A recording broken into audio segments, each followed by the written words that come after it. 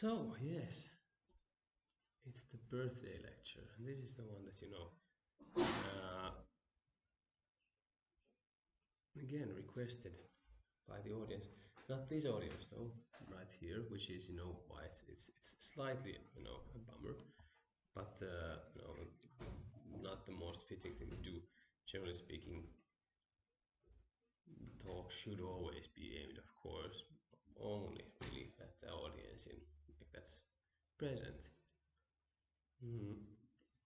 However, because it's, it's my birthday, and it has been requested by some people, and at least before the retreat, or like know, like when I was planning the retreat, I noticed that of course that it's my uh, birthday is going to be during the retreat. It's something I uh, I thought was you know an interesting idea, something I endeavored to do. So yeah, I'm going to tell like a bare bones version of, of my own kind of path, um, or some of the kind of key aspects of it. So, um, yes, I'm 32 years old. Not very old, not very young, I would say. Like, not, not very young. Still, of course, I consider myself young, and that's that's like I mean, who isn't, you know, when are you really not young anymore? Good old, you know, thing, you know, you're basically, you grow old when you, when you, like really old. Uh, of course, you know, if you desire so in a happy old age, but then also sometimes, you know, if you relinquish perhaps some things in life, one of which I feel is a spirit of inquisitiveness a spirit of wanting to find out how things are, for example, which is the I think this the core essence of, of any spiritual tradition um, on top of freedom from suffering to some extent. So in basically any spiritual tradition you would have you have these two aspects. And also spiritual seekers you have these two aspects at least, or this is one model, and of course all, all models are, you know, in, in, this, in the Buddhist sense, we would say they're empty, that, you know, they're models, and not really facts as such. But uh, you have these two things, and yes, some spiritual, you know, seekers emphasize one over the other, and I used, I don't nowadays no longer do so, but I used to do so with all new students that uh, I asked them are you more motivated by a search for truth or a search for liberation or freedom from suffering? Are you more motivated by suffering or are you more motivated by truth? And I think yes. Uh, one is probably never quite, you know, old, at least in a negative sense. In, in some other sense than, than that they would actually embrace it, at least you know mentally or psychologically or spiritually. Unless one relinquishes, you know, any sense of curiosity about the world and curiosity about how they function and how their mind function and curiosity about how life what the deepest potential in life could be. But yes, I'm 32, not very not very old in, in, by any metric, not very young. By at least my metric, because I have been younger in the past. And uh, I definitely, I mean, to some extent, you know, of course, you know, like basically anyone who really is a is, a, is you know becomes a really hardcore seeker at you know which I also did when I'm a relatively young age. I was still, you know, even like, you know, as a very small child, like very, very curious, incredibly curious, incredibly active, you know, hyperactive even, uh, running around, you know, running from my parents in trains and just kind of like, like scuttling through the like crowded train, you know, like, like, my mom, my parents split when I was three, my, uh, they divorced, and though I've always kept in touch with my dad, you know, I lived with my mom. And my mom had to kind of, you know, chase me around. Uh, I was called a Duracell bunny because I always leaped around in front of the, you know, the, the crowd, you know. Like also if, if when I was, you know, walking with um, adults or, or even sometimes with, you know, peers, I kind of leaped somewhere, you know, ran, ran around in the front, you know. Um, but though there was that curiosity, the really, you know, spiritual seeking, you know, did not really begin until I was like maybe 15 or so, if I recall correctly. I was born to secular parents in a secular household, which is very, you know, kind of scientifically minded. And I was too very scientifically minded. My my big brother especially was very very much into in very, this kind of very hardcore what was quite popular uh, in the you know in the early zeros you know um, and late, late 90s but especially the early zeros you know the very very you know start of the, that decade was this kind of uh, very strong like atheism uh, like Richard, Daw- uh, Richard Dawkins and uh, Christopher Hitchens and, and, some other kind of you know um, Daniel Dennett, some of these writers, very, very much against any form of religion. You know, religion is like one one could even call it like misotheist, so to say, like which means a hatred of God. You know, definitely a lot of that going around then. And my elder brother was also my four years older than me. I looked, looked up to him in many ways, with a very critical eye also in many ways. But you know, you know, I listened to the music he did and so on. And I also you know had this you know very strong scientific streak, which I had for a very long time. However, when I was like 15 or so, I had the first, I would say, really kind of spiritual experience when I was, you know, uh, back then I was into poker, online poker, and I wanted to own a casino. And I uh, smoked cigars and wore sunglasses everywhere, which is, you know, like a, a very kind of mid-teen thing to do, I think. all of that. But then one night, because summer breaks were long, and I was always a night owl, and I still am a bit of a night owl. I like staying up late. Because when you stay up late, you have, you know, much like, you know, in Buddhism, you know, like the classical thing, and not only in that tradition, like not only in India, really, the watches of the night. You know, you stay up sometimes late because it's introspective and you don't have the hassle of you know everyday life. You don't have the hassle of other people either. You're alone and you have time to really kind uh, of delve into yourself. So one night I did, I did this. I stayed up very late and then around 4 a.m. it was already light, like as you noticed in, in Finland at this time of year, it's very light, very early.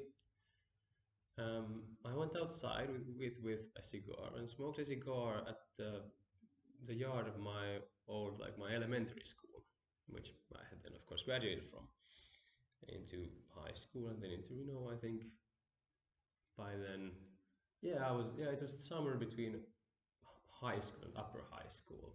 So we call it yläaste and lukio in Finnish. And I was there, like you know, smoking the cigar, and there was no nobody anywhere to be seen. Uh, very quiet, but the sun was in the sky, and there was this like fa- like familiar streets of my home sub- suburb, and I kind of that can be oh no kind of called. I had like a feeling of some form of oneness with with everything, like this kind of you know this strong kind of.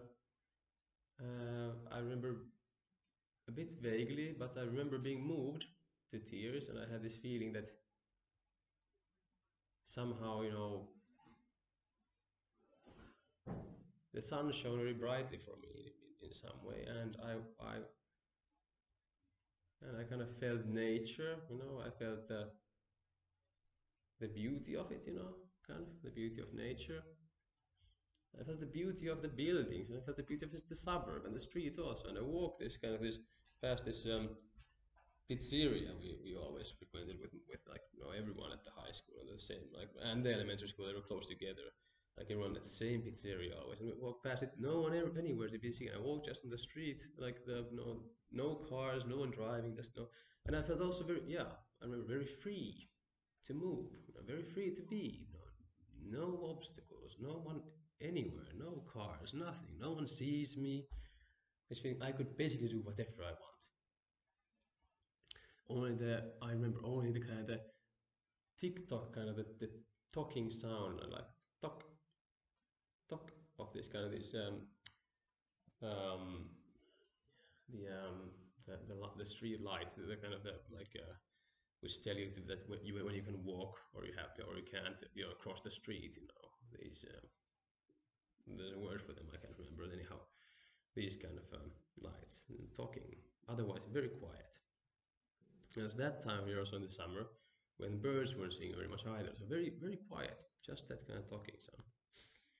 And that kind of started some something in me in some sense because I remember that relatively soon afterwards I was interested in the occult for the first time. And it was a very guilty pleasure because my elder brother was not into that at all. You know, he was like really kind of, you know, against anything like that. Or like, you know, he he he did not or like not against, he just didn't find it interesting at all. Nowadays he does interesting. Nowadays my elder brother is very much into Christian mysticism or like Neoplatonism and these things. You know, he, he found another kind of route there than I did. Even though I also I, I enjoy those things greatly. For me, like you know, it was different things, Taoism and Buddhism eventually. But yeah, the occult, and you know, reading H.P. Lovecraft and lots of horror. I got very much into horror also, and I'm still a great, great fan of horror movies and series, you know, horror fiction. I think it's a great form of art, which is often overlooked because our fears and sufferings, you know, fears are relevant. What we are afraid of, it's relevant. And horror portrays, you know, to the best extent that, you know, especially the greatest horror artists and the greatest, you know, fiction writers, like like H.P. Lovecraft, for example. You know, the whole the whole cosmic horror thing. You know, what what's the terror in the unknown, the vast, you know, vast unknown primordial sea of the cosmos, which we simply have not mapped out to like any significant extent. The only thing we know about it, and H.P. Lovecraft already knew, by then is that it's incredibly vast, you know, just incredibly vast. You know. It's so vast that it's incomprehensible to us at least.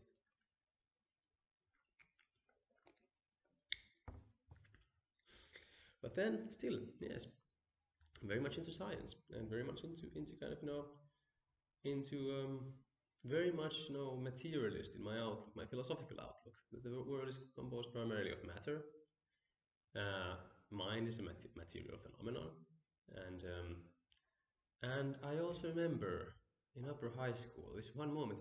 Nowadays, it's kind of you know my mind is very very silent. I feel and think most things in my body, which to many of you might, to some of you might sound weird, um, and to some of you might sound very familiar. Um,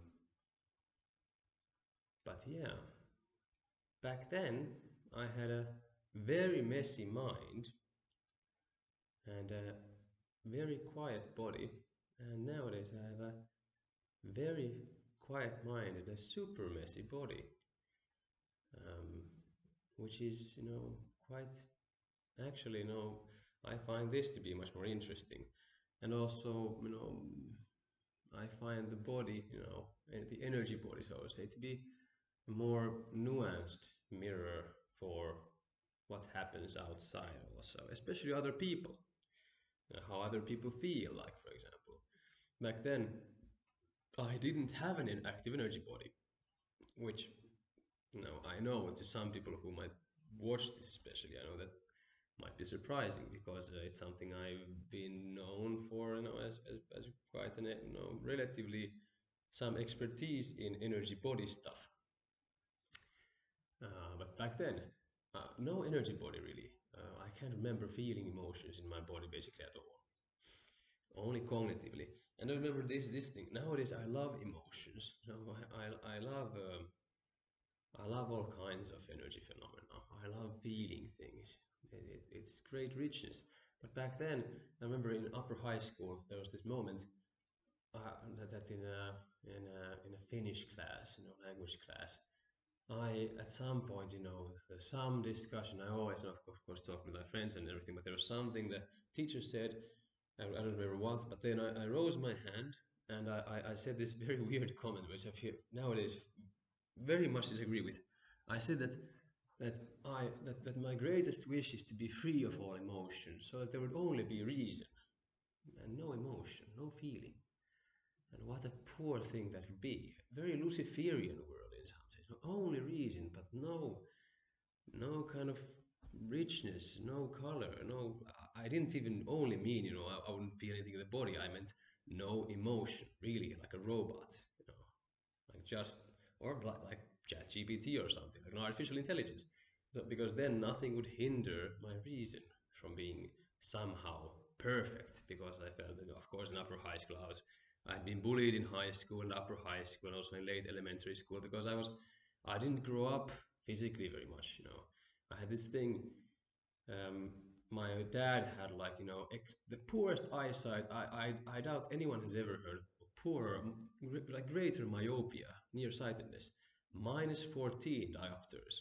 That's like that's crazy high. The, the normal thing for people with glasses is like minus half to minus 1.5.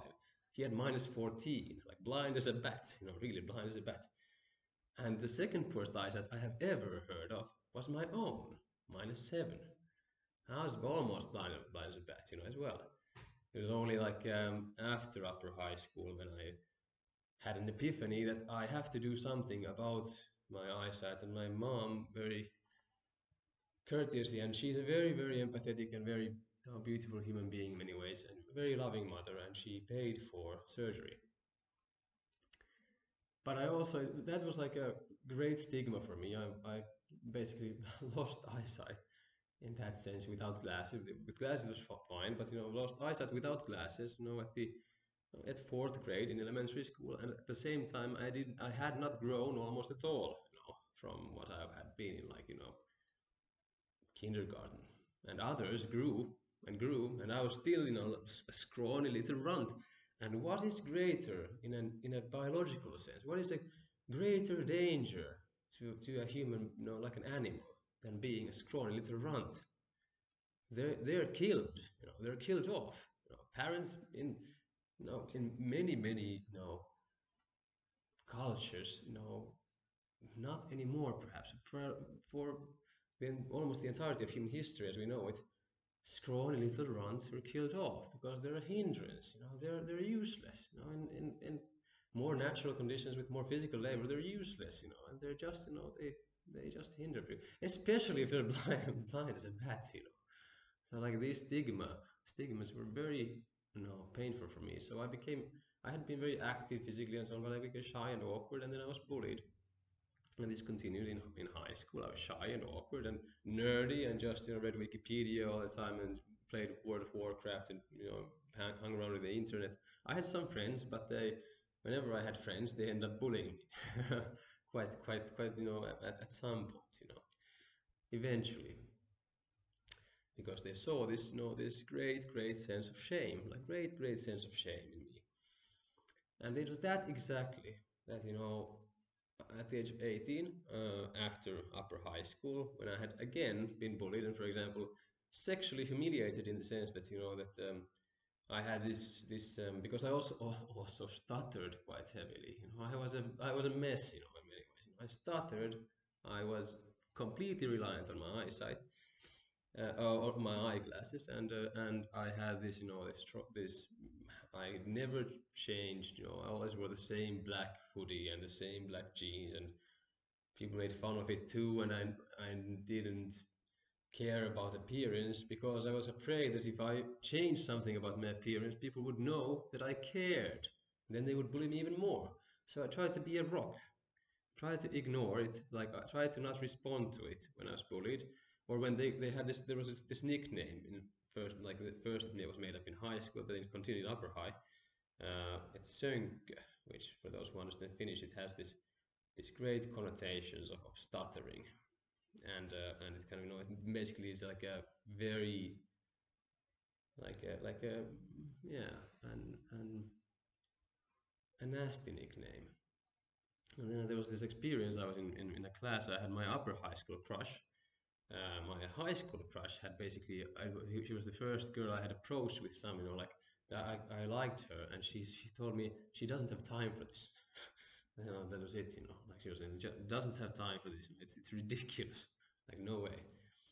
So uh, so in upper high school, I had a crush, and I was in German class with her, and then this, you know, and we were kind of close. I felt this tension. We were kind of close. But we played World of Warcraft, Warcraft together also, and we also danced at the uh, there's on the second class of well, the second year of upper high school we had these dances but that was super awkward because like I couldn't look at her in the eye and palms were sweaty as hell all of this kind of thing and she was really awkward and everything was really awkward and but yeah this these guys bars in the classroom and they started using this nickname when I felt so close and I felt shattered like sexually shattered.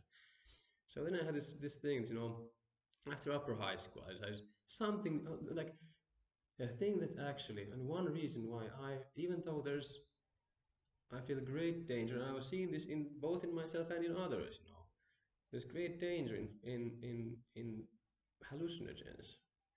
What basically at that time turned things around for me was I took psychedelics for the first time.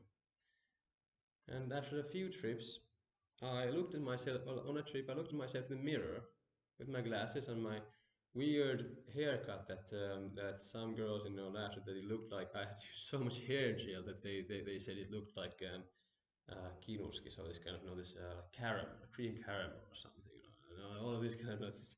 Just like you know, uh, something had to be done. I couldn't go on like this. I had the feeling that if I go on like this, I'll become at most a musty professor, you know, surrounded by you know books and books and books who no one would ever love or care for. This was what I felt about myself. And so I looked at myself in the mirror, something has to be done. So then I had this, yeah, yes.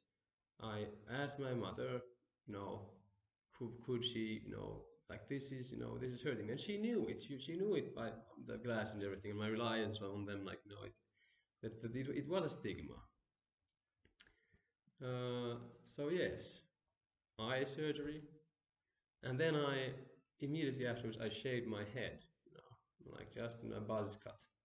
And then I went, you know, I I had gotten inside uh, the university, passed the examinations to study philosophy, theoretical philosophy, and I started studies there.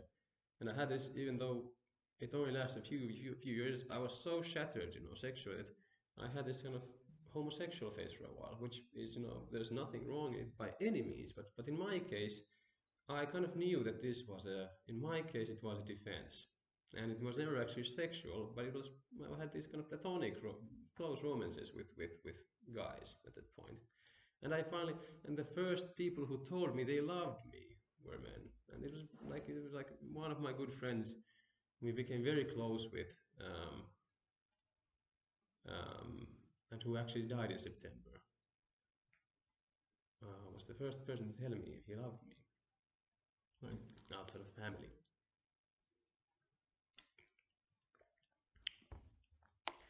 So yes, um, I still was very materialistic, but I kept on, you know, using hallucinogens. And slowly they started opening up, you know, this kind of beast. It was too difficult to uh, kind of explain, like maybe not to explain in metaphysical terms, but it showed me that I really know nothing. Like it, more and more, I kind of felt I know very little about how the mind works. Ultimately, I, I thought I was like really wise and everything, and because I was so intelligent, you know, I can take on everything. But I, there was this, for example, this one experience where I took way too many mushrooms, and uh, my mind kind of shattered. And I thought I could take it because I was so intelligent, you know, and that had always been my my my the only security I had. At least I'm intelligent. I might become a musty old professor, but at least I have that because I mean, no, Everyone who had always told me I'm intelligent.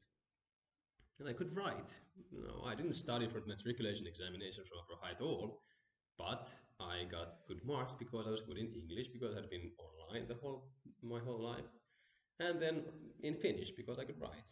And the two the two subjects you don't have to read for. I also took history and tried to read for that a little bit, but then I got B, which is the second lowest score. Um, even though nowadays I'm a history buff, I very much enjoy history, and, and I'm also like you know relatively well well versed in like uh, world history.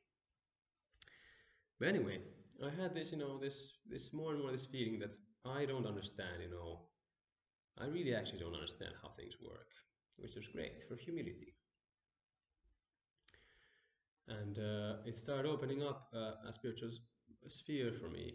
However, this took a bit, little bit of backlash when my this friend uh, Veikko, he um, he and I we had a year together full of very heavy like exploration with psychedelics and other like other substances. Cannabinoids or cannabis and then you know something called dissociative hallucinogens this one substance called methoxetamine and uh, but then we kind of broke up you know. Uh, he did could not take it anymore that i was slightly insufferable still. I still had this kind of um, like he was not as good maybe at expressing himself to others and i was always the person like in our weird platonic couple romantic romantic whatever really close though really close couple.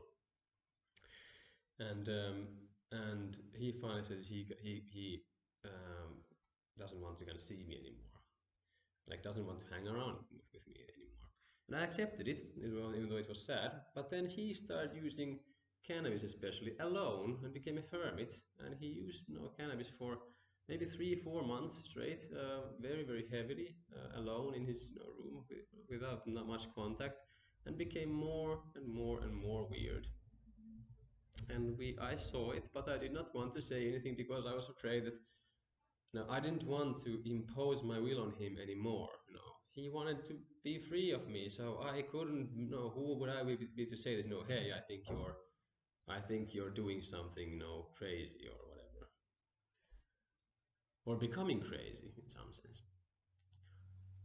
But um, yes then finally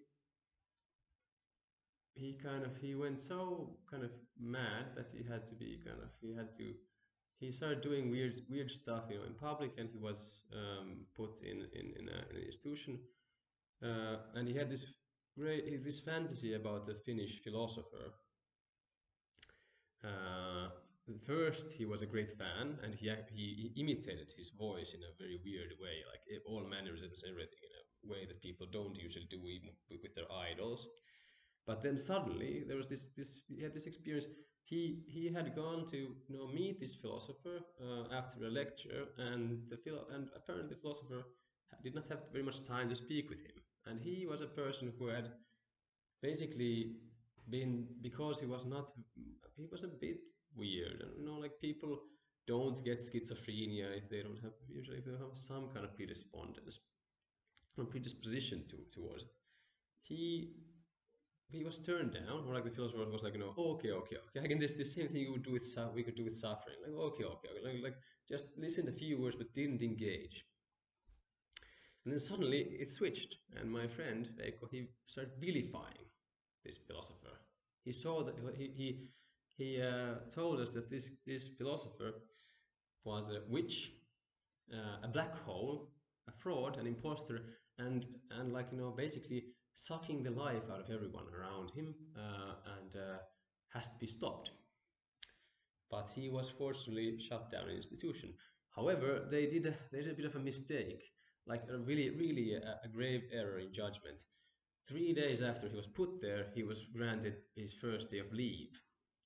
So he could leave the institution, even though he had, when we went to visit him, he had been like, you know, crazier than anyone I have ever seen in my life. And I've seen quite a lot of, you know, insane, crazy people on all kinds of trips, and you know, like all all kinds of. But He, I've never seen anything like this. He was sweating very, very heavily, very, very pale, looking either very, very high and speaking in a high voice, or very, very down speaking a very deep voice, and telling us things like it's a well known, well known, commonly known fact that that people that people are given antipsychotics uh, so that they would have heart attacks and then beca- become homosexual. It's like you know, very, very common knowledge indeed. Uh, very sad though, because he was he was given leave, even though when we went to meet him, he tried to escape like behind us, you know. And just I think two days after he was given leave, and he went and stabbed this philosopher, uh, who did not die, fortunately, but still, that's a life sentence. If you're so crazy that you go and stab someone, you oftentimes never get out of an institution in your life, or at least it will take you know decades. So I also saw quite heavily like how crazy things can become. You know? And he's not the only person I've seen you know, who, has, has had the same thing happen. It, not, not, I, I have not first seen you know, that someone stabbed someone, but um, I kept on my explorations to, to some some degree going on. Um, but started started slowly getting yeah my spiritual opening started kind of maybe even what happened to Veikko then who you know he lived a very good life after that even even though he was an institution first you know uh, at an institution for the criminally insane for four three or four years and then at a just like a mental institution institution for four years but he got, you know, even a week at a time off to be come to Helsinki and hang, hang around with people, go to festivals even in the, in the summers and so on. And he was very like I I say so many things about him because he was such an important figure in my life. Of course, he was a um,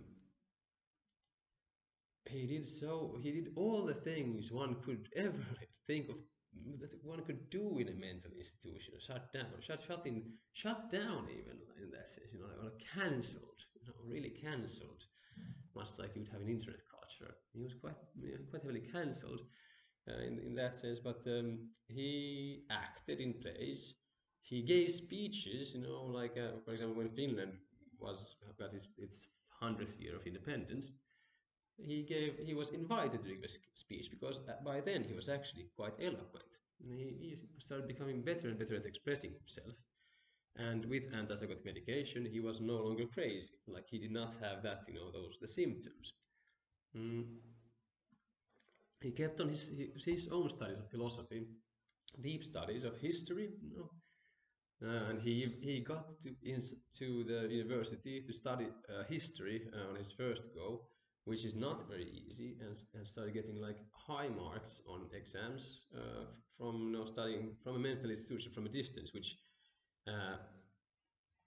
frankly, like a, a, a, a, psychiatrist once said that this he had, uh, you know, who works with, you know, who has worked with psychotic people for most of, most of their career, uh, told me once that he's never seen anything like this uh, in his career. That someone could do that thing from a mental the mental institution for the criminally insane uh, to get inside university that fast and get you know basically top marks being schizophrenic and being in those conditions you know, on heavy very heavy antipsychotic medication because without the medication he would like just flip you know, very fast into some kind of very weird Nietzschean manic manic sphere of just you know like like really really really high up but yes, with the medication, uh, you know, under control, he was a great mind, great fireball mind, great person in, in, in many ways. Mm, wrote in the newspaper, you know, hospital newspaper, not very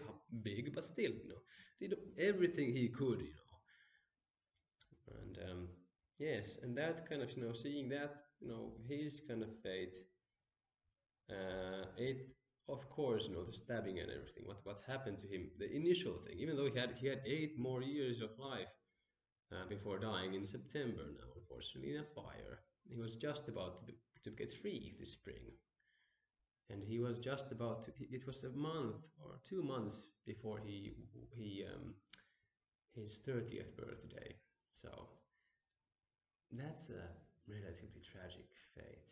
However, eight years where he was happier than I think he had been ever. He was, instead of with his sad eyes in his teenage photos and, you know, before, before we had our group, our circle of friends, we did crazy stuff together, you know. It was not just him and me, but also some, a few other good friends.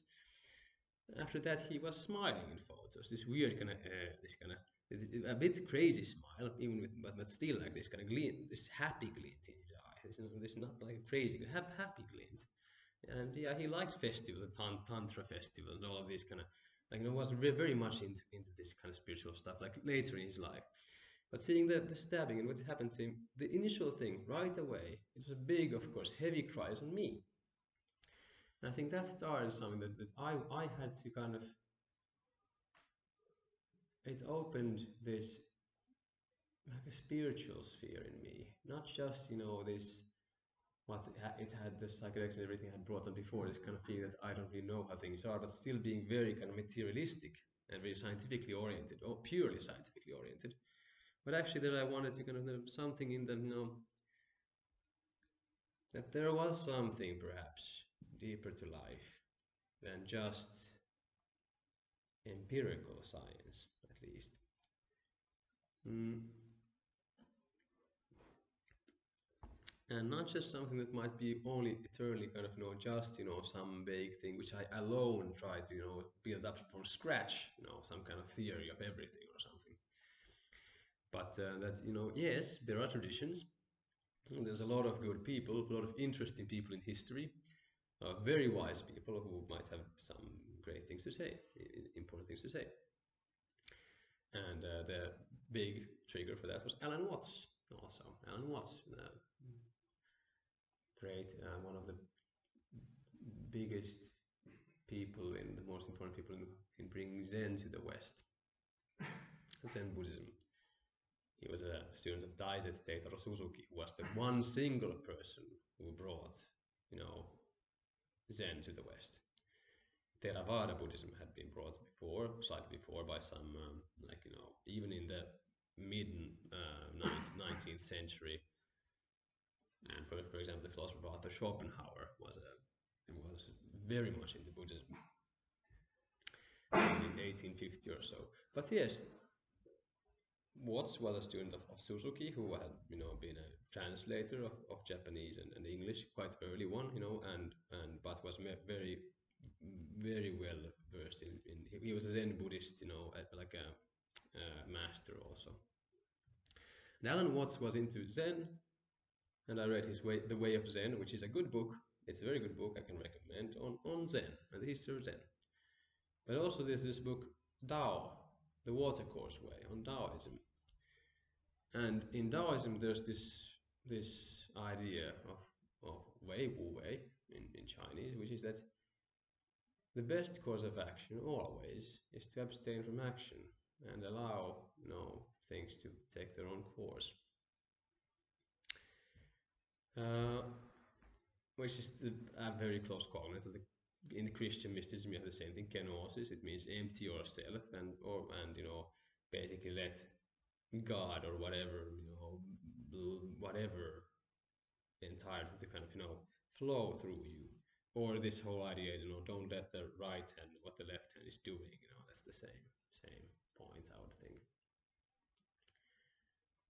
or in Buddhism, you no, in Buddhist schools, the same thing. Flowing river yoga, for example, in in uh, in, in, early Tibetan Buddhism, um, and um, many other words for like you know in that tradition also for the same thing. Anyhow, I, I got into Taoism. Uh, and then also Christian mysticism to some extent. But then in late 2014, and the philosophy had been established in early in January 2014, or already in late 2014, like in the summer of 2014, I had gone to festivals, Boom Festival, which I'm, I'm going to be teaching this summer. Actually, I went in there in 2014 as a participant, and now I'm going to go teach there. It's the biggest psychedelic hippie festival in Europe, 40,000 participants or so. Like you know, the European Burning Man, to some extent. I'm very happy to go there this, this July. Uh, because it's a, it's a great place with, with a great freedom of expression and very warm atmosphere. Uh, I went there more, you know, spiritual awakening stuff. And then in, in December 2014, I went to Thailand. So I started traveling alone that year, you know, in general. I'd been to Florence, you know, I'd been to Paris, you know, and, and you know, yes, Portugal for Boom Festival, and then Hungary for this you know, Sun Festival and another hippie like hippie festival. And I had also gotten into dancing. I love dancing. I dance a lot, you know. It's a something. It's a hobby. I dance, you know, in dance classes, but I dance also like uh, very much in, in parties, you know, techno parties, could be whatever, whatever parties actually, you know, drum and bass, but most of electronic music, but also you know, anything that you know has a has some rhythm to it, you know. I also took ballet lessons, but that didn't fit um, because I was I also had started practicing Tai Chi, you know, which I've practiced now for you know I, I started in in in fall 2014.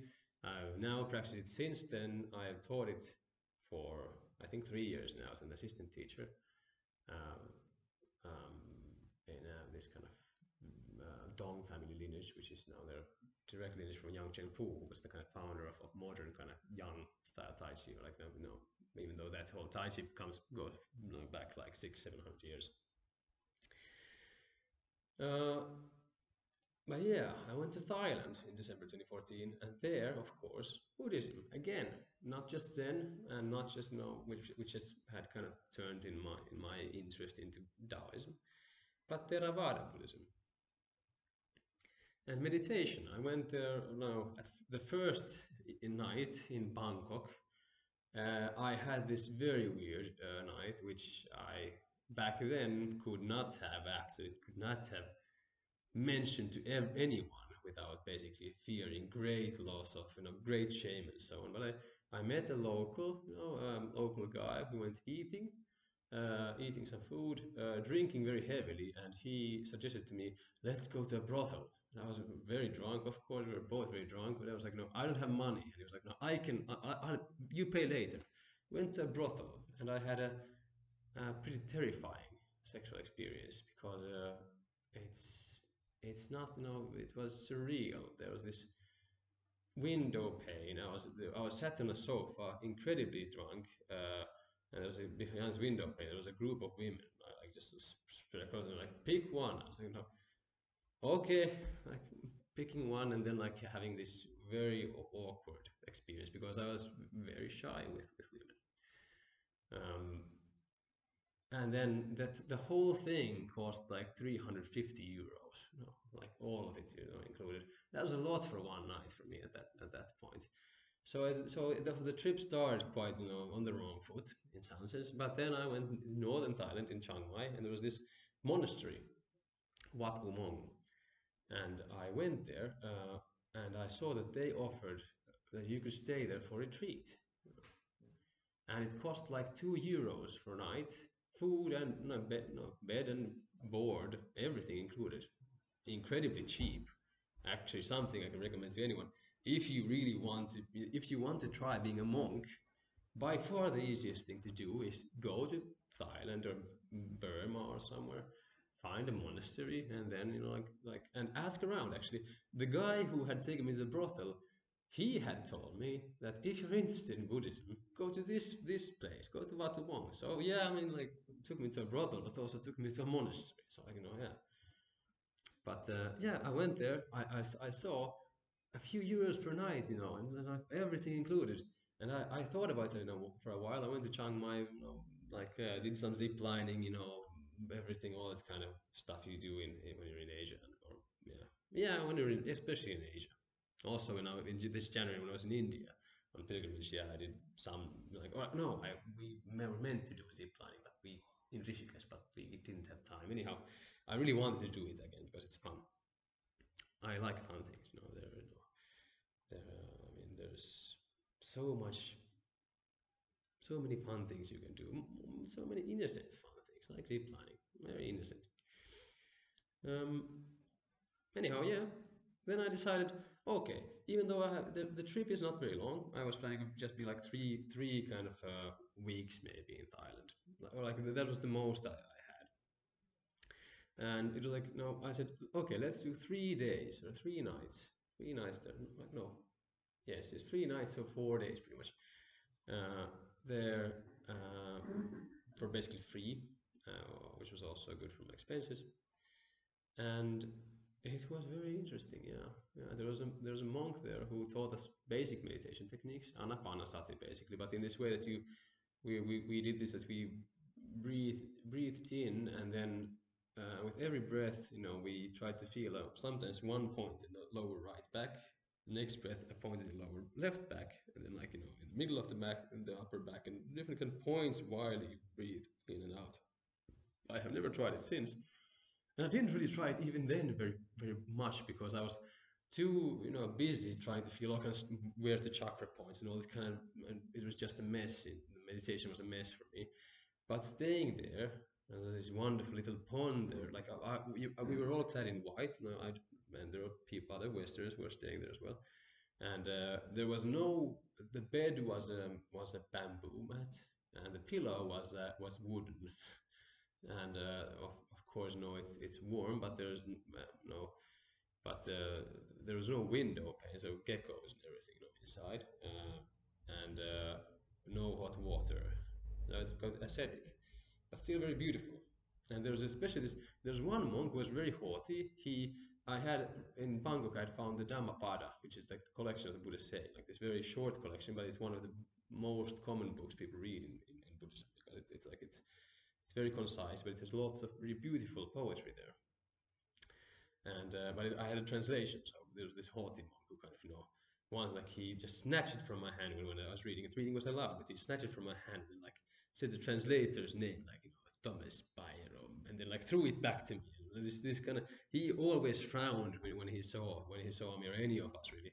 But there was also this other monk who had taken a vow of silence for at least like some some period of time. And whenever he, he and I got eye contact, he would just like you know burst out like like just like like big laughter, and I was like smiling and everything. And he, he was like really really warm hearted, and that you know also told me that there's something to this. He was really really happy. Mm. So yeah, I got into Buddhism, and of course that has continued to, continue to this day. Um, but also other traditions still, yeah. And uh, by then, actually, I had this this thing, this um, that I had still taken quite a lot of hallucinogens. Um, one could say even increasingly so.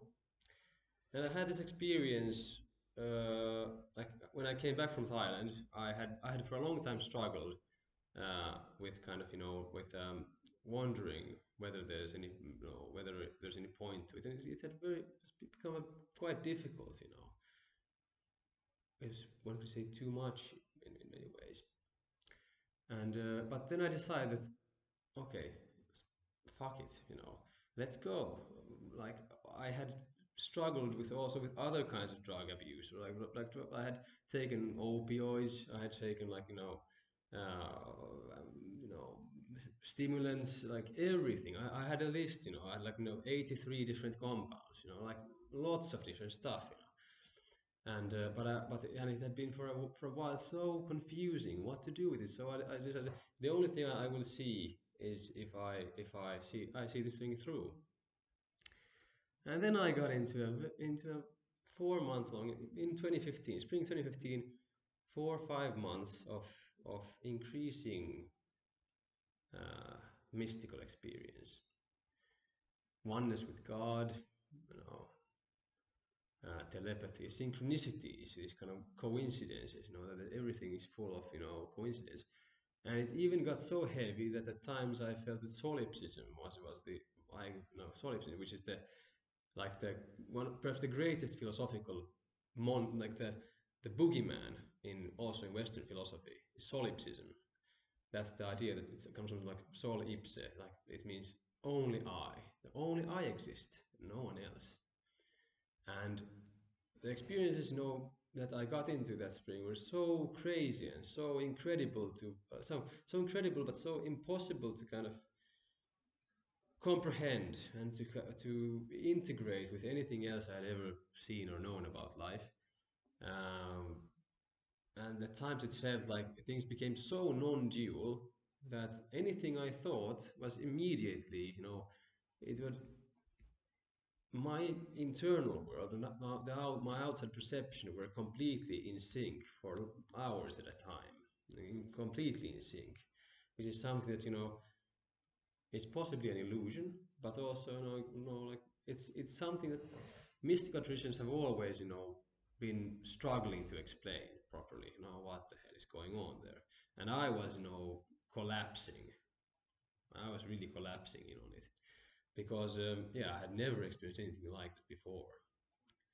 And um, eventually, I kind of I had this thing. I had taken methoxythymidine, hallucinogen, and synthetic cannabinoids every day um, for three months straight, starting in the morning, going to the bathroom and sniffing some lines and eating some other stuff, and then throughout the day, always going around a corner somewhere, somewhere, and then like you know, doing some more, and like constant this. And then I went to this, uh, this, this. Uh, I had a, another friend who also became schizophrenic. We also got this close bond, um, and he's still alive, so I won't also mention his name. But we got this very close bond. Uh, we kind of became partners in crime in, in this kind of in that spirit, crazy, crazy wisdom as it's called, you know, crazy spiritual sense. Uh, but and he organized a mushroom retreat at a, at a summer cabin with uh, I think seven or eight other people, um, and uh, somehow things went so that he called me upstairs and he had a bunch of mushrooms in front him. And uh, he just waited. What am i going to do? And, he, and, i don't still quite understand what, what was his intention. I think he intended me to pick one but i looked at them and he had also, also had these spiritual buddhist spiritual artifacts like like, like he told, told me to first like you know pick one. And, and, and he saw how what would i do with it? He looked at me you know, like very close what would i do with it? And later i understood that these were uh, these were artifacts linked to different kinds of dhyani Buddhas, which are wisdom Buddhas. They're like, you know, in Tibetan Buddhism, there are these very high entities of, of some sort.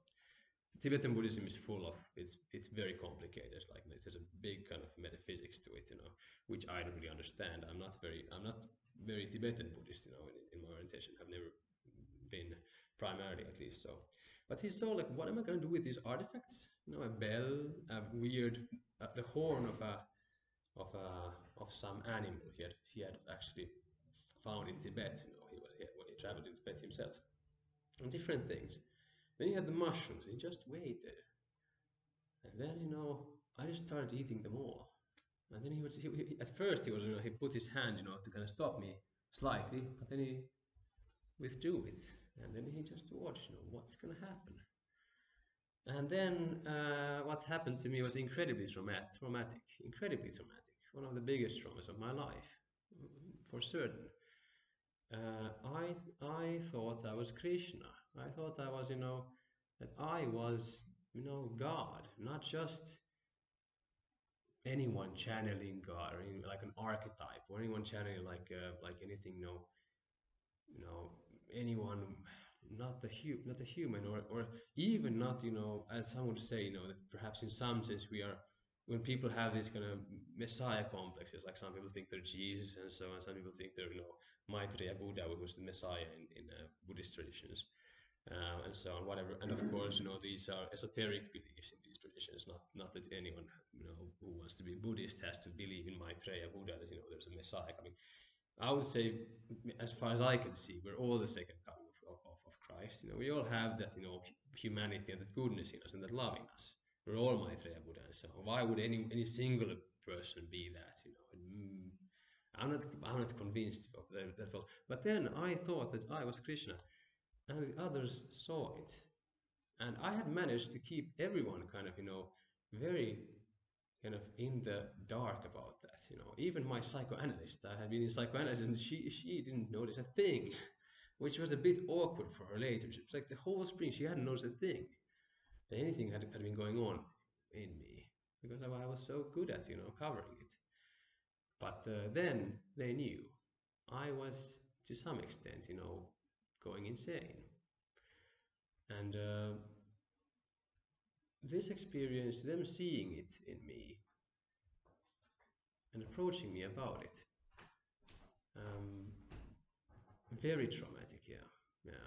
Socially so crippling that um, it took me years to kind of accept properly integrate that this had happened. And yes that it doesn't mean that they hate me or it doesn't mean that you know they um, that anything is really in a in a very wide sense wrong. It's just that i had gone way too far much like many others before me much like Veikko had done but no, not as far. No one could say, but still too far. It was enough for me that someone saw saw it. And then I stopped. I stopped all like like I went traveling in Europe. I I had no access to like I didn't I did not really even want any you know drugs or any hallucinogens and so on. But um, I still had this, you know, this. I had the I Ching, like this Chinese book of changes. It's, it's like an old Chinese manual of divination, and I kind of I I I had used it very much in that spring. You know, threw coins, and then there's the thing: you throw coins, then based on those coins you draw lines, and based on those lines you in, you you look at the book, and it gives you an an interpret like a text. And I used that like maybe 25 to 30 times per day. All the time. I sometimes you know I could spend an hour just talking with it, asking it questions, and you know seeing that it somehow responded to me. So I still had that with me. I went traveling, uh, first to a festival and then you know to a psychedelic conference in, in London. You know, I had this, you know, from Portugal to London through uh, France and like first, first like uh, Spain and then then France and, and so on to Paris and then to London, um, where I had the honor of, of being the sound man for Rick Doblin, who's the founder of the like the multidisciplinary association for psychedelic studies, which actually like the world's biggest kind of um, association for promoting psychedelic therapy. Uh, and the sole reason why MDMA is soon going to be a, uh, um, um, an FDA approved medicine in, in the US, maybe in like two years, I think, or so, uh, which I think is great for our medicine. But these things, you know, are always not good to be of free use. Know, I think they should be, there should be supervision. And um, Yes, I kind of I was traveling and I still had the I Ching and everything, and I even met a Jesuit priest, a traveling Jesuit priest, was on his way to Syria uh, because he wants to help people, and I convinced him that don't go. He had a limp foot, you know, he had, had, had like damaged his leg, and he was in like in his maybe 50s or, or so, very handsome man, very kind of like very great, very charismatic. But we kind of talked about it and yeah i gave him like an i ching thing like like like like this kind of this a reading of it. And he and it it gave like and he believed in god and everything. And he believed you know in in that there's no coincidence or all this kind of thing. And the text told him that don't go to places which are dangerous. Not not right now. And he was like no. Okay. And then he, he told me that, that he's not going to go to syria. Uh, so and and then he told me that like great thanks, um, and something good came out of that. I don't know what would have happened to him in in in midst of the war and everything, uh, with a limp foot, you know, um, you know, one person there anyhow. Um, but then yes, I even in the, the, the fall, I I once perhaps I, I tried to take some kind of hallucinogenic substance, but the moment it started kind of shaking up my worldview, I kind of collapsed and went and cried to my mother that uh, I can't take it anymore. And then I stopped immediately. Like that was that was the last time. Basically stopped already in the spring, but that was the last kind of straw, and like you know stopped immediately. And uh, even though since then I have found again value in, in some hallucin- uh, hallucinogen use, um, I for the next three years I was completely sober, uh, not even alcohol, and I got into uh, very heavily into meditation, which still, of course, you know, has been the the greatest and the most stable tool, spiritual tool I know. Uh, and I went to Goenka Vipassana tradition. What was this, this one, you know, retreats, 10 day retreats. Spent a few ye- years in that, that tradition heavily. Uh, and I was quite, you know, I felt that this is the only tradition I would, I should be in. Basically, this is the best one, maybe. And, um, but then a friend of mine told me, you should read The Mind Illuminated, Culadasa's book. And I read it, and it kind of blew my mind because like the Goenka tradition has basically no instruction whatsoever. Uh, it's very very slow. You can get I think relatively far with it, but well, like 90% of the people I know who are only in it, or like maybe 80%, I think they get a bit stuck, or at least they plateau very fast because there's very little instruction. There's really no progress there.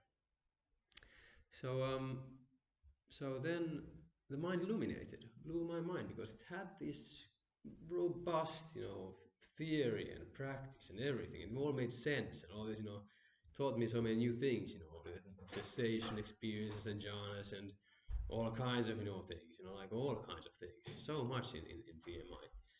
So I started practicing that. I went to uh, serve in a in a in a um, cruise ship, uh, cleaning cabins. That's that summer. Best summer gig I know uh, in Finland because it paid like over 2,000 euros, uh, like 2,400 euros for for a month, tax free because the sailor sailors union is so powerful because that sea trade has always been so important in Finland that you know they can they have basically tax free.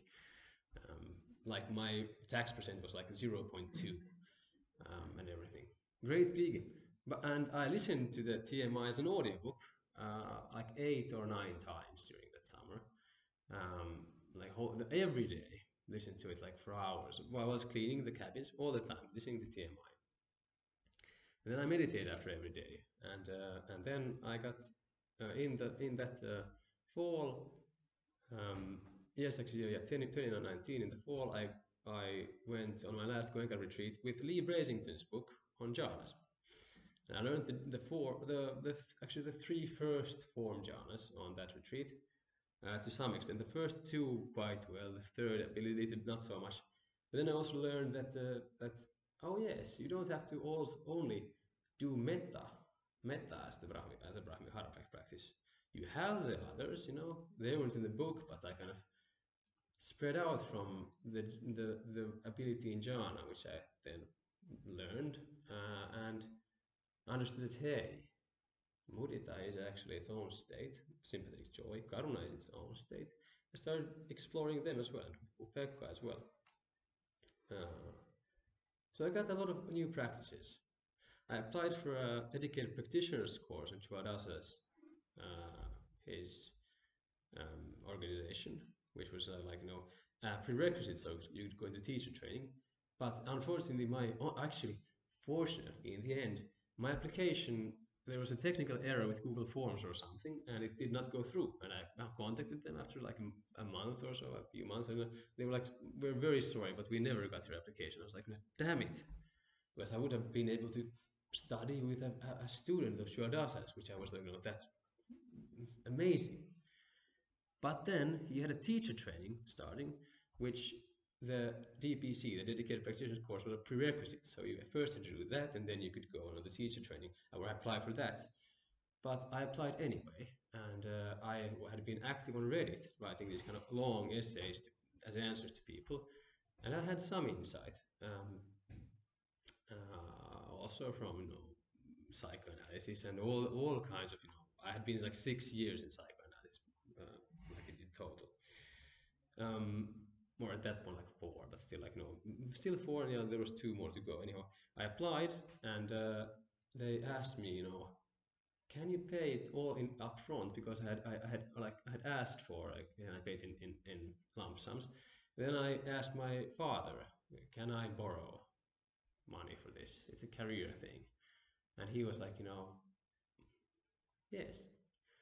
So I got into the teacher training course, you know, by the shortcut of, I, in my application, I just put links to my Reddit posts, and they had made an, an impression on Culadasa. You know, he was like, okay, come along. And I was the junior student there, the youngest by far, uh, or like not like that big of margin, but you know, maybe 10 years or so.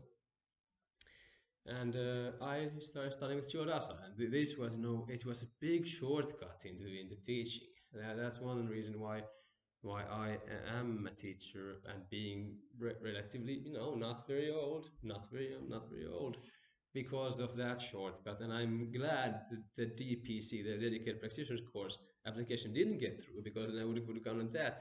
And who knows what might have happened. I might have gotten disillusioned with the whole thing, or no, it would be boring studying with a, a student of Culadasa's after all, not Culadasa himself or something. But I started studying with Culadasa, and we had this group. Mm, 10 people, I think, uh, and we had a class every every second week. And then private communication uh, by email and everything. No private one-on-one meetings, though. I never really met him in a Zoom call, for example, one-on-one. But yes, of course, you know, ask questions in the group group chats, and you know, he answered. And we we had a report, kind of. We had because I was into the same philosopher he was. Greg Rosenberg, who's a, who wrote a book in 20, 2004 about consciousness, which uh, dwells sites in the mind illuminated in one of the uh, end notes. And I was like, you know, very few people have heard of this philosopher, even though his theory on consciousness is, is amazing. It's very, very detailed and very powerful. And Culadasa agreed. So we had this kind of, you know, ah, okay, you have also heard of Greg Rosenberg, you know, like, like this, this thing. And uh, and that continued, but not very long. Ultimately, I mean, we were, you know, I learned a lot from him.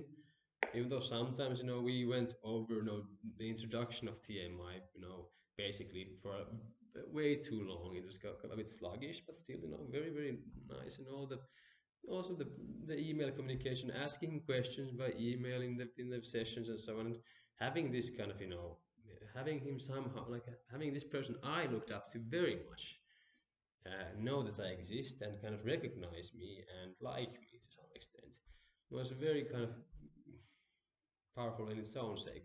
But of course, it only lasted for like seven, eight, nine months or so because then Culadasa had his scandal with the prostitutes and, and everything because he was dying of cancer and wanted to learn more about sexuality and so on.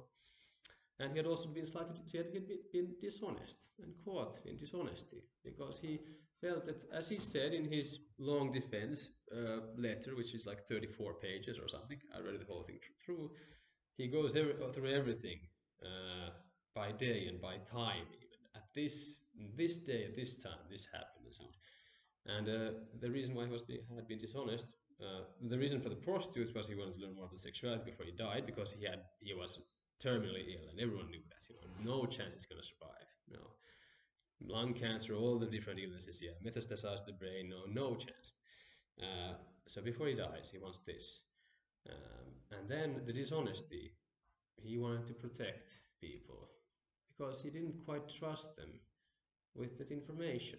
Know, because he knew that people are fallible and people are damaged quite easily sometimes, especially if they if they kind of if there's something about an authority figure like Charles himself that you know they find difficult to accept. But he kind of, you know, of course, he, he never really started teaching them the same way again. Um, and yes, that's uh, it's it's it's uh, not the best end to his tale but the rest is you know going through, through because it, has been it's been mm, yes as always with me um, I have always been uh, prone to being late unfortunately it's something that perhaps some, at some point that content because many of my bad habits uh, I have, had like have resolved themselves. Being late never. I've been that you know from five years old like always late to school and everything. So now also it's, it's been a bit too long. I feel, feel like you know uh, about stuff, stop. so we have, we have time for questions uh, which won't be recorded. Um, so no worries about to you guys about that. But um, the rest very very shortly of course after Culadasa I started studying with Tucker Peck his, his student his maybe first big student like like he had had students before but it, was like like but he had been a very shy teacher until around the early early 20 like 2000 something uh, and then he started becoming famous really fast because he had a very powerful mind. Charles was, was, was a genius, and I've heard many people. I know a person who, who, who, who uh, I don't know anyone who's better in technique than Adi, this one guy. Adi is, is, is an Indian guy. Uh, and we have this, uh, we're friends. Um, and Adi is an arhat or so know he says and i kind of i don't quite know what he means by it. An arhat is, is completely liberated from suffering personal personally liberated from suffering. But uh, i know that no one is i don't know anyone who's better in technique than he is. He can enter into nirodha he can enter, enter into cessation like like basically like uh, like like very fast not maybe like that but, but whenever he wants within you know a brief relatively brief period of time He can enter into any jhana, also the formless jhanas. You know, and that is really like that. You know, he can within seconds or you know, like like uh, very fast or within a minute or something. You know, and it's, it's, he's very good in technique. And Adi, you know, also said Charles is a genius. And he was, you know, very, very genius. But I started with Tucker for a while, uh, but then I we both felt that maybe there ultimately was not so much to learn from that connection in, in, in that sense, in like that deep sense. But he gave me my Upasaka name, which I don't use in this context, but my website is still now Nicholagi.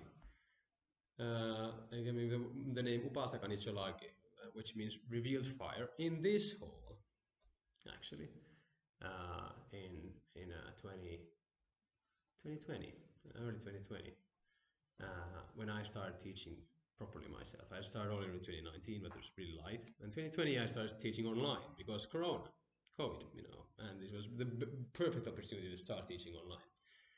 Upasaka Nicholagi here because one, when I had told him that could I perhaps take the Upasaka vows, and he had told the assembly, the retreatants, that Santtu is going to tom tomorrow to convert officially into Buddhism.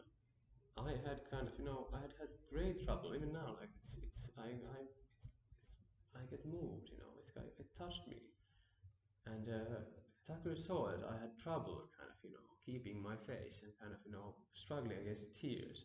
And Tucker was, you know, surprised.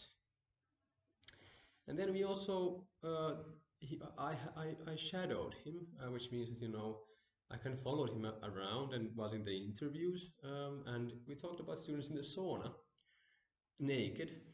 And uh, Tucker is American, so so it, it's quite uncommon to be naked with someone in such a you know small space. And also he hadn't been to sauna maybe that much. And Nicholagi means revealed fire, real, revealed flame. So it was revealed passion for you know Dharma, which you know was suddenly he kind of felt you know okay you're actually very much into this really into this stuff. It's important, really important to you, like like it, it is for me. And also, of course, the joke in the sauna, naked. No, so blah, revealed flame. So yeah, but started with Tucker for a while, uh, and then was between teachers for a while. Then Lee, uh, and by then I had been so much of a jhana junkie and really stuck on jhanas because jhanas are great. But I didn't do much else. And Lee told me, of course, he's a teacher of jhana, but he also told me about taught me about emptiness quite a lot. And then I had my first insights into emptiness. Really, this kind of that everything is actually primordial, just as it is, relaxed. It's always perfect in this sense because it's always just as it is, and nothing else. And it has no name. Whatever suffering we have arises from names. That's the topic, of course, for another talk. It's important for also the for the like uh, it's definitely a topic that will come up in for example tomorrow in the talk emptiness again in more detail. But our suffering arises from names and that's something the buddha found out. Nama rupa they're distinct. Nama is name rupa is form. Name and form are distinct. They're not the same thing. Rupa or phenomenal reality has no name. I mean none of this has any names in itself it's a, the floor doesn't have a name it doesn't know it it doesn't know anything but we name it. And if we hate floors, then you know there might be suffering arising from that hatred of floors, for example, whatever stem, whatever that hatred stems from. Maybe we have slept on floors before. It arises from those that name, that meaning attributed to the fall. I slipped on the floor once and, and it hurt. There was pain, and pain is bad. It's all just names, ultimately. It's names built on other names, concepts built out of concepts, and so on. He told me, you know, some of this, and then I had the experience. It has no name. It's perfect. It has to be. It's the only logical conclusion. And there was great relief. And then to leave for a year and a half or so. And we, will probably get back in touch. You know, it is only before I went to India. You know, talked, let, yeah, let, let, send me pictures about India. Lee, Lee's also been on a pilgrimage in India twice uh, and you know let's get let's get you know let's let's talk after that you know you know let's get back to, back back uh, back in touch or something perhaps but neither, neither one of has so far. So it's it's you know we'll see what comes out of it. It's no no student teacher relationship is, perhaps know perhaps even meant to be forever because you learn so much about you know from other other other people, different kinds of people. So now I'm kind of between teachers in that sense. Perhaps it depends on what happens with with Lee now and Lee and me. But uh, I am of course incredibly grateful to him as I'm, I'm to all of my teachers, which are infinite. So many people ever since that you know young age being like a hyperactive kid you know even the bully the people who bullied me teachers of course teaching me about myself and eventually teaching me you know about about you know my suffering what pains me and so on. And all of this of course continues. And again you know I've also seen I have not met a perfect human being. I, am not quite sure if a perfect human being exists. And much like does of course flawed but he was a genius and he gave me much as he has given many other people in this room. And um, I only hope that flawed human being as I might as I as I am I might be able to have a beneficial impact on people which is really the only thing I have almost ever wanted to do. I had this is the last thing I'm going to say because it, it's also a bit of a joke. Um, when my dad asked me what, what do I want to do in life? When I was you know maybe 15 or 16 I said three things one of which I can't remember but the other two were the, the third was also insignificant the other two were the, the big ones were I want children. I want to be a father and I want to grow a beard and everything else is just whatever you know. And maybe you know the third I can remember the third one but that would be I want to be of benefit. I want to be of benefit. It's it's again, also here I think the only thing that makes any sense. You know why? What else is higher than being of benefit? And the way to that has been for me ultimately spiritual practice. It has been meditation, mostly meditation. Also other things, other techniques. Tai Chi is great, by the way. That's very good for you know body very good for balance, very good for many things. Dancing is also great, also for letting go. Um, but meditation is nothing has given me as much as meditation, and especially inquiring into suffering. It's that's the and that was the, the thing I learned from Rob Burbea. This is actually the, the last thing. Rob Burbea posthumously gave me the spark for the Mahayana path when I was stuck on emptiness because you can get stuck on emptiness too. It's a bit nihilistic, ultimately, if you're just, you know, stuck in this view that no, nothing has no name, and that's it. Rob Burbea, you know, his his talks and his you know PDFs and everything gave gave me the spark only just a bit over a year ago, properly. Properly. I mean, Lee also had taught me something about Dzogchen Mahayana, but Rob Burbea properly into this that you can also sculpt that nameless emptiness into something loving. So there's not just the equanimity of emptiness, that you're okay with you know whatever happens, but that you actually have the spark of bodhicitta, that you actually have the spark for you know you know for love. And actually that's what Culadasa also said, told told us all the time it's just that I might, I was perhaps not as, you know, that was not the thing that struck me back then. But now it, it's time to end this, and we still have time for questions, fortunately.